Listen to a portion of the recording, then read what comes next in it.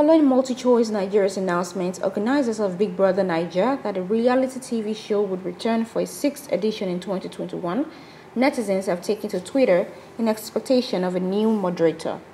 The previous host, Chukwuebuka Obi Uchendu, has anchored the BBNaija show for four seasons, and many anticipated he could still retain his role. Some users of the microblogging platform, however, think that it is time the show organizers got Ebuka a co-host, while some others believe that he should be relieved of his duties. Some said, if Ebuka stops hosting BBNaija, I don't think the show would ever remain the same anymore. Another said, why can't a woman host BBNaija? Why can't BBN have two hosts? There are no rules anywhere. Also, nobody's taking anybody's job. BBNaija replaces Ebuka, it's still because he's moved on to other things or they decided they wanted someone else, not because someone tweeted it.